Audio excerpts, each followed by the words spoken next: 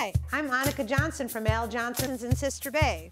I hope you enjoy my new video series called Door County Girl. These are stories of my life, the people and places that I love, and of course, how we all survive here in northern Wisconsin. You can come back as often as you like, but don't forget to subscribe to Al's YouTube channel. I'll be posting lots of really cool new videos. So let's go.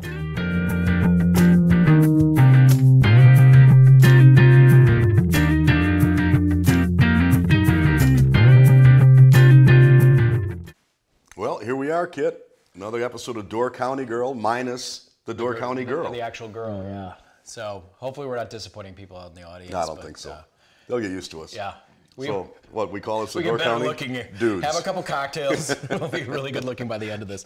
Uh, yeah.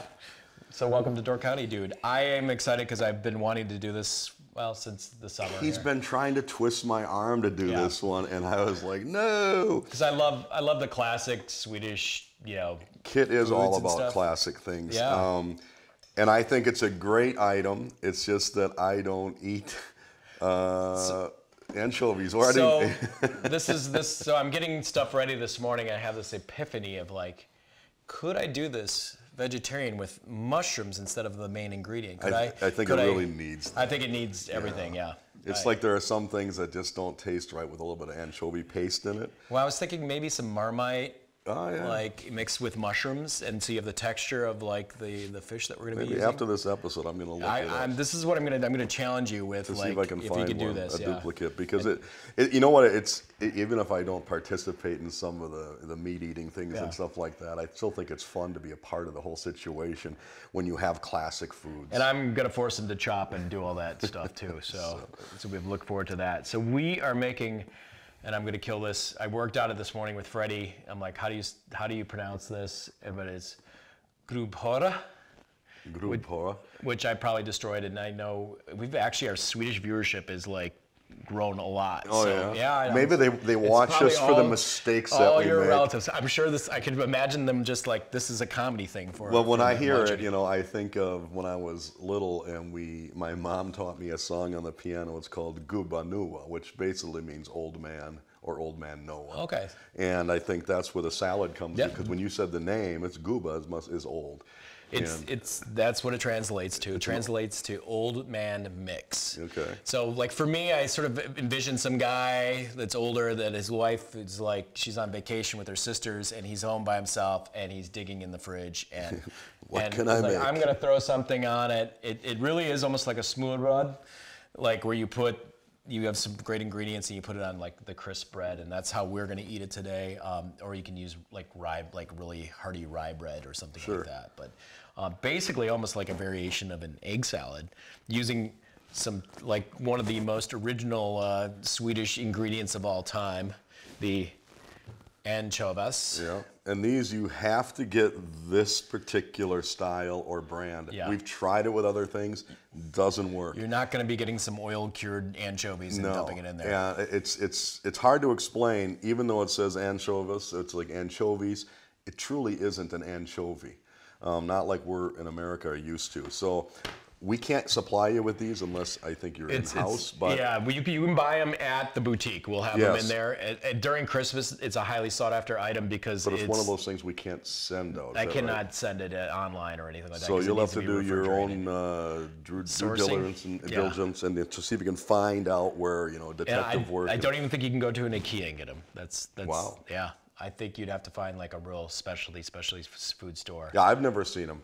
I mean, we've had a shipment ourselves. So Yeah, I'm trying to remember, and I you know I get around every gourmet store in Chicago, and I usually don't. I don't think I've ever seen them in there. So. When, you- when you gave the analogy of you envision an old man, you know, making his own stuff because his wife isn't at home, there's a great, great movie, not to get off track, called Kitchen Stories. If you get a chance, watch the movie called Kitchen Stories. It's about an old Norwegian guy that lives by himself, and an old Norwegian Swedish guy is there sitting in a lifeguard chair, mapping his uh, movements in the kitchen because they're trying to write a uh, tutorial how to best design a kitchen for old single men. but it, it sounds stupid. bet But I, I shared it with Norbert Bly, and he watched it four times. He liked it so Really? much. It- Is yeah. it- Is, it something you just pull up on yeah, like you know, I, Netflix or I, I'll bet. I'm what? willing to bet you could get it on one of those two, but I'm willing to bet it's one of those. It's on Kitchen YouTube. Stories? Kitchen stories. Is it is it like subtitled? Uh, yes, it is. It's probably like some some like super classic movie from Scandinavia. Well, where- I where, tried to get my mom and dad to watch it, and they said it's nothing. It's just watching this guy walk around the kitchen. I said you have to give it about a half an hour. And the premise of the movie, and it's got a twist in the end. It's fantastic. It's like that or watching an old guy fix sobs. Yeah, I could do that all day. Yeah, that's good. okay, so I'm going to show, I, I know we showed this trick before, so I'm going to show the, at the, the dishcloths. We're going to be chopping something and mixing. Mixing something. So If you get these wet and you put them underneath, the So you really want to get these Swedish dishcloths saturated so they're floppy, like you're going to be rubbing something down, but you can just put them right. But even saturated, they're not they're not dripping They're with not water. dripping. Uh, yeah, I- and I look, wrung 'em out. Now we got a nice secure and even surface. here, this is not a wider base bowl, but it's not going to like slide everywhere. Yeah, and th- this is perfect. Perfect. Okay, so we are going to start chopping. I think I'm gonna have you. Let's do the. We can do it in any order because it just all gets mixed together. So we'll do the onion since it's up here already. So you We're said gonna do about like three three tablespoons of onion, but again, all these can be changed to whatever you want. So if you like onion, or even say you wanted a little, you know, roasted garlic in there, you could do that also. Um, you know, another thing that I think would work really well, just because I like acidity, though we'll get some with the, this ingredient here. Um, like a little, even a little bit of vinegar or apple cider vinegar would be really great. Like you're making a slaw, or like mustard, like Swedish mustard. I've been addicted to the IKEA's just yellow mustard. Is it as good as the Slotts used to be? It- or it'd probably better. It's like on sandwiches. I, I don't know. I mean, I, I it, it's so funny because it just comes in like this yellow like squeeze bottle thing, and it looks like it's like the American, which I do like like the other brand, you know, the American just yellow mustard. But Sure. it's like it's way different. Like it's actually it sort of has a brown tinge to it. It's got like this just subtle sweetness, but there's not like if you look at the nu- nutrients, there's not that much sugar in it. But it's just a really really great mustard. I I went there and I loved it so much that I like from previous times visiting, I bought like four of them because I went through it so quickly. The dill is this a rough chop? yeah, just rough chop and dill. We're, you're going to add some to the salad. And then we're gonna save some later just to make it look Pretty. a little zhushing at the end here. Is that going to be enough onion? I think so. Let's just we'll dump these in the bowl now so they're Out of the way. out of the way. So I'll put it up here. Or so it's funny because you know, both Rolf and I have cooked in the kitchen together, and I have to say, I've, you know, I was like in my 20s, and you're you're only 10 years older than I am. Sure. So, but you were like there, and you want to cut up the hard-boiled eggs. Okay. And you know, it's it's interesting at Al's because it has if you work there, you you sort of learn from the next. It's like almost being in a you know like a teaching facility because I think they're like as soon as you can pass on your knowledge or teach somebody something else, I think it's because you, then you just don't have to do it anymore. Right. And I agree. And a lot of times, you know, I, I remember uh, younger kids too, they come in there and they're like, did you have an awful lot of faith in me? I said, why? And they go, because you told me how to do something, just walked away and didn't instruct me after that. I said, well, it's kind of baptism by fire. You just Yeah. got to kind of sink or swim. well, I think one thing that helped me out was not only just having great people like Randy and you Oh, and, yeah, and yeah. Uh, Kirk and and and Freddie actually too. Yeah, Freddie's been yep. awesome. Um, you know, instructing you. Um, one winter I was there, I opened up one of the old pancake ovens, and there was a whole collection of like the original cordon bleu textbooks. Oh, yeah, I yeah, think they were yeah, yeah. Davos. Yep, yep, yep. And I, I like because there's a lot of downtime during the winter. I, I just devoured them and read them all, and I really, I think that's sort of what started my passion to it, like being cooking in the kitchen and Yep, stuff. I remember the same. So when we had when Hamster worked there, Steve Anderson, and uh, he had a cookbook he brought in every day, the Professional Chef, Oh, the, uh, which is CIA? yep, which was kind of our bible.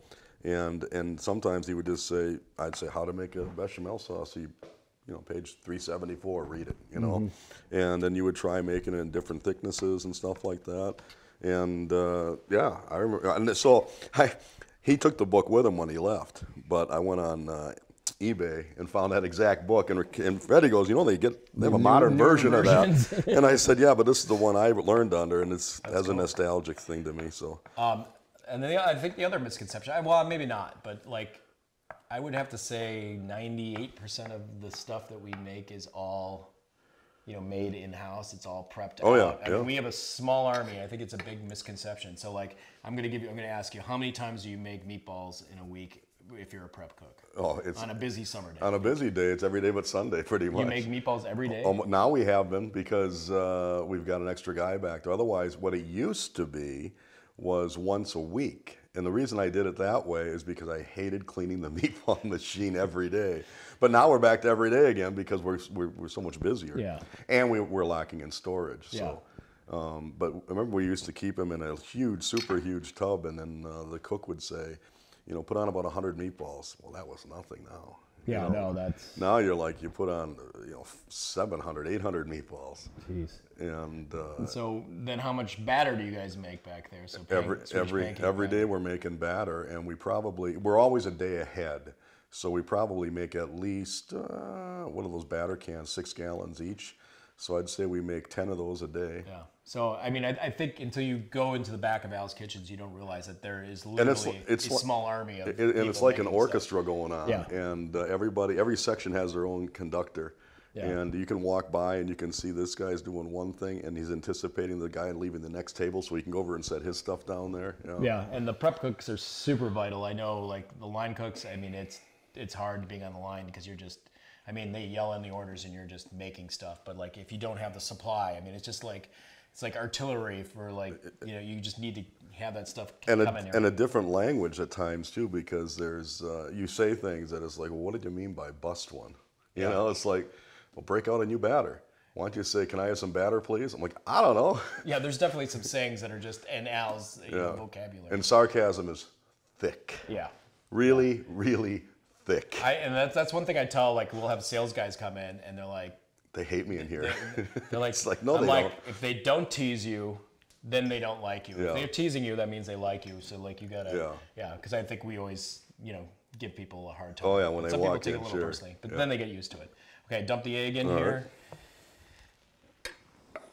And then we'll move on to the the secret ingredient, which I'll tell you about uh, also because I had a weird dream about it last night. So like this is a tin, and I had a dream that I like just like sliced my finger. ah, So I'm actually gonna do this over this because if some juice does come out, it's it gets added to the. you want it there. You want the juice, and in fact, you want to reserve the juice. Oh man. Reserve the juice because you're gonna want to add some more liquid in to do adjust to your taste. It always So- reminds me, like even sardines in those old Tom and Jerry cartoons. you want to pluck But- them out. And, It's like you could just smell. So it's a spice, a spice blend that they they sort of cure them in here. And I'm gonna have you pull. You want me to do this, or you? go ahead. Well, let's see. Are we, are we dicing these? You're gonna dice these too. They Okay. have to go in there. And the other beauty is these these have salt in them, so you will not add salt to this unless you just love salt and you want more. Um, but even even the other secret thing that I watched Freddie do, I hope he doesn't mind me giving you this away, is on his in his Janssen's Temptation, he always does dump the whole liquid into it, and I think it does give it that really great flavor. Because otherwise, it's sort of cream, and I mean, you get it from the anchovies, but you don't, you know, it. I think it's what makes it unique in flavor and stuff. like you know even like a caesar salad Yeah. that you, you always go what is that hint that i'm missing you know and then you find out that oh they i didn't put the uh, uh, anchovies in there so more than that or Yeah, right that's, about that's there good there. Just as long as we got a nice We're chop to that it, in so there? we're gonna mix it. Yeah, it's gonna get all dumped in.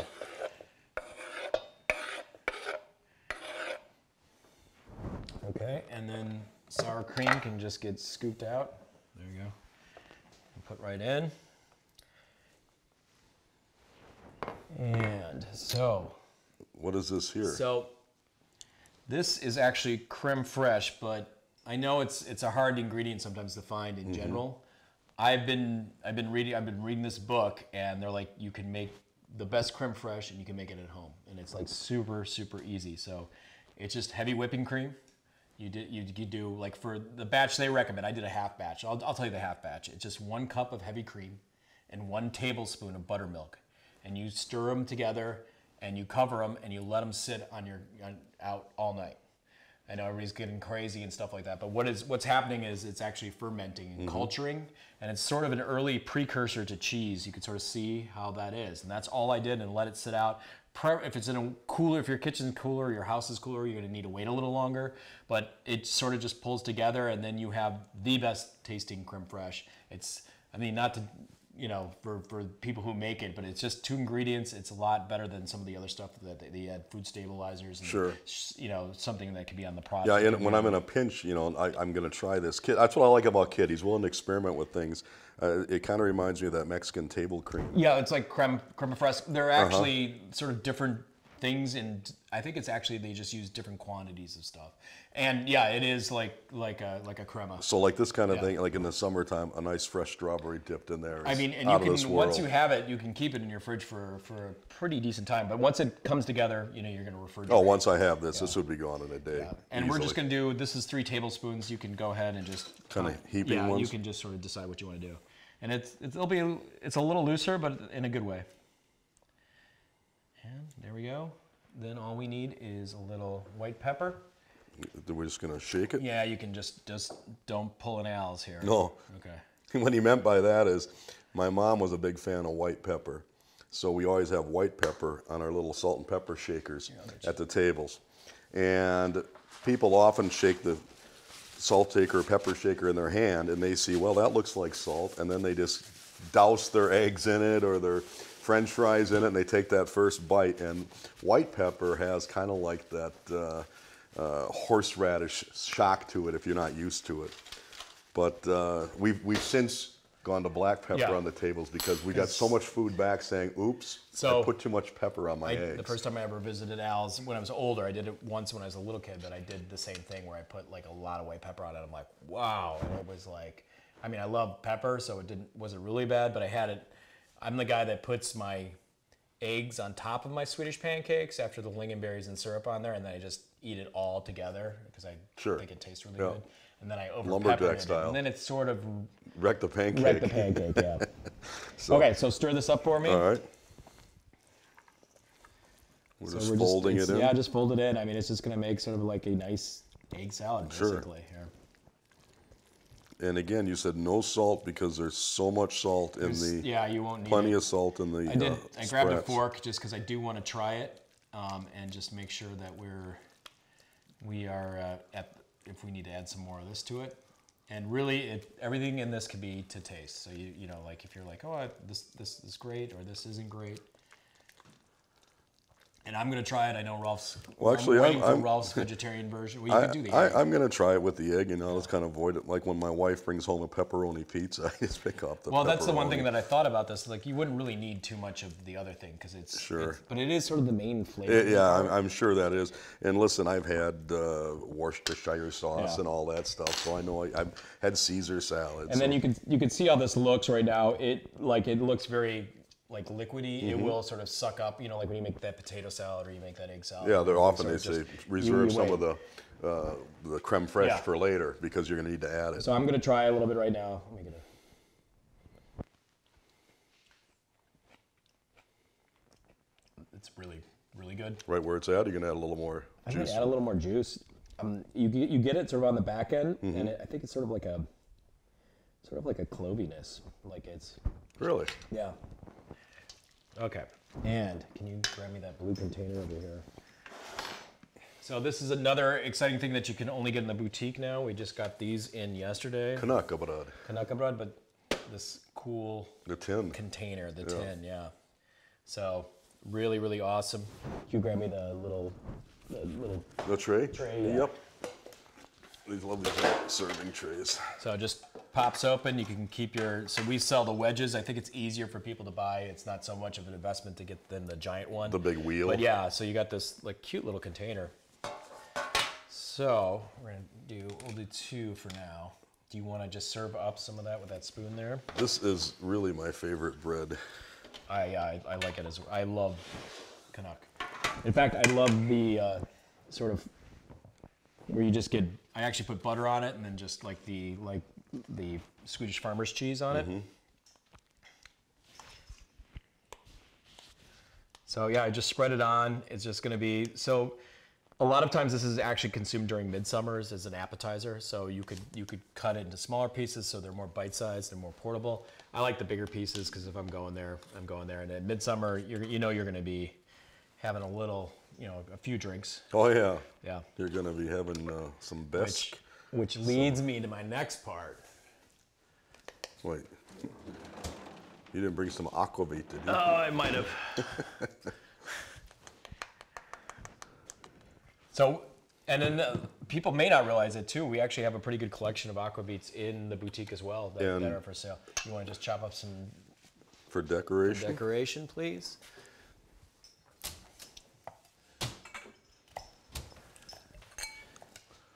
And I know uh, Bryn makes her own versions Yeah. of uh, aquavit. You and you can buy the. Our, so we have a spice mix that you can just add vodka to, and it will.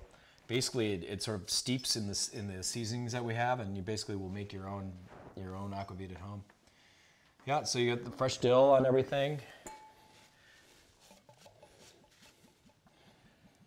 Okay, you know what I'm gonna do? I'm gonna try to take a little piece of knäckebröd bread, and I'm just gonna see if I can just get the flavor profile down. Kind of avoid the anchovies the best I can, Try it. but at the same time, I'm very curious.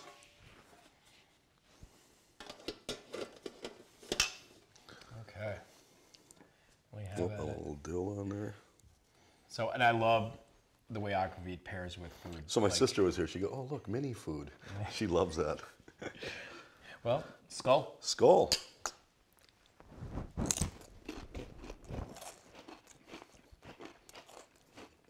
Holy cow! Really good. I would have never guessed. no, it is. Like I could eat like ten of these.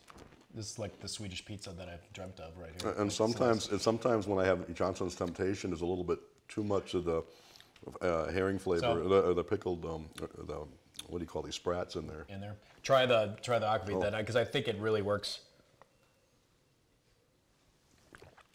Like it just pulls those great aquavit flavors, a little caraway, a little dill in there, and that works so great with this food.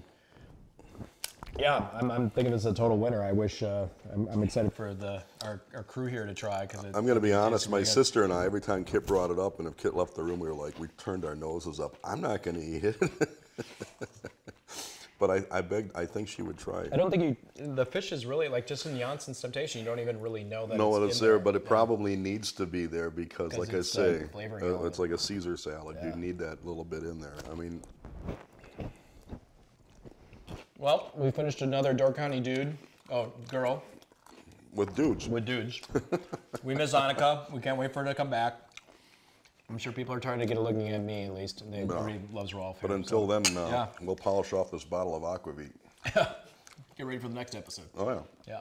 And Don't forget to hit To like and subscribe. like and subscribe, Door County Girl, and you can keep up with all the things that are going on Yeah. at Al Johnson's. And uh, like I said too, I know I sort of in a past episode I went back and said, hey, we, we may offer just a special, like sort of incentive if you if you subscribe to our s- subscription people, and we we may give people a nice like maybe a nice Christmas uh, video or something like that. I don't know.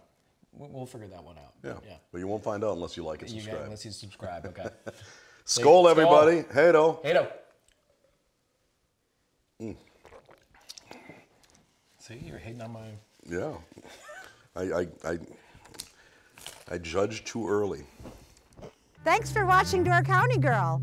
Don't forget to subscribe, and we will see you next time.